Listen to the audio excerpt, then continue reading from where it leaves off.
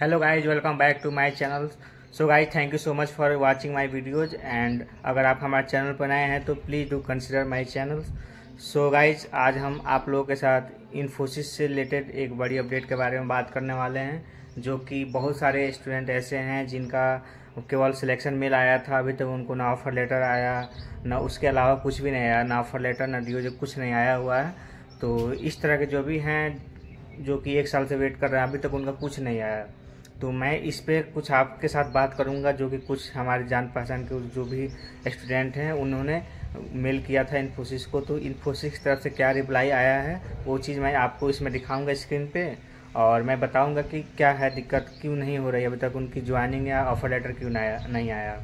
तो चलिए हम वीडियो को स्टार्ट करते हैं। तो गाइज़ आप सबको पता होगा कि आफ्टर पेंडेमिक बहुत सारी कंपनी ऐसी थी कि जिनका अभी तक मतलब ज्वाइनिंग सिलेक्शन हो गया, ज्वाइनिंग मेल नहीं आया अभी तक, उनका डीओजे अभी तक नहीं आया। इसके पहले जो पेंडेमिक के पहले था कि हर चीज़ बहुत अच्छे तरीके से चल रहा था, जिनका सिलेक्शन मेल होता था, उनको तुरंत मिल जाता था ऑफ़र लेटर आ जाता था सिलेक्शन डीओजे आ जाता था। लेकिन आफ्टर पेंडेमिक इस सब चीज़ों में बहुत ही मतलब प्रॉब्लम हो रही है। बहुत सारे स्टूडेंट ऐसे हैं जो कि एक एक साल से वेट कर रहे हैं। उनका अभी तक डीओजे नहीं आया। जो भी मतलब मल्टी नेशनल कंपनियाँ ही हैं या कोई और भी कंपनी हैं तो उनके साथ जो भी सब डिले हो रहा है, आप लोग सब लोग जान ही रहे हैं कि इस टाइम जो भी रिसेशन का दौर चल रहा है, इसमें बहुत सारी कठिनाइयों से सभी लोग गुजर रहे हैं। तो हम लोग भी सब लोग गुजर रहे हैं, ऐसी बात नहीं है। तो इसी दौरान एक है मेरा जान पसंद का लड़का, उन्होंने मेल किया था, उसमें क्या लिखा था मैं आपको पढ़ के बता देता हूँ। उसमें ये लिखा था कि it's been approximately one years from date of selection still I don't get any offer letter and date of joining to the form तो ये जो स्टूडेंट है, इन्होंने इसका सिलेक्शन हुआ था आपका दो हज़ार इक्कीस सितंबर या नवंबर में हुआ था। उसके बाद से ना, अभी तक इसको ना ऑफ़र लेटर आया, ना डी हो जाए, एक साल से ज़्यादा हो गया। तो उनका जो रिप्लाई आया, उनका इस तरह से कहना है कि जो मेल आया उनका, वो मैं आपको पढ़ के बता देता हूँ और आप स्क्रीन स्क्रीन पे भी देख सकते हैं।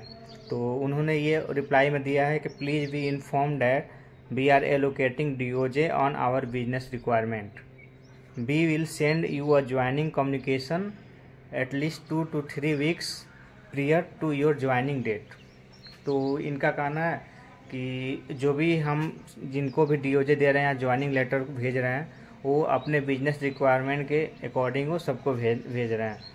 तो उनका ये कहना है कि अगर आपको भी बुलाया जाएगा तो दो से तीन हफ़्ते पहले आपका जो भी होगा, ज्वाइनिंग का डेट होगा उससे आपको बता दिया जाएगा, आपको इन्फॉर्म कर दिया जाएगा कि ऐसा ऐसा चीज़ें हैं। तो मैंने सोचा आप लोगों को बता दूँ तो आप लोगों को बिल्कुल भी पैनिक लेने की ज़रूरत नहीं है। वैसे भी जो भी अभी रुका हुआ था डीओजे वगैरह जो भी स्टार्टिंग नहीं हुई थी, अभी भी उनका अनबोर्डिंग जिनका नहीं हो रहा था।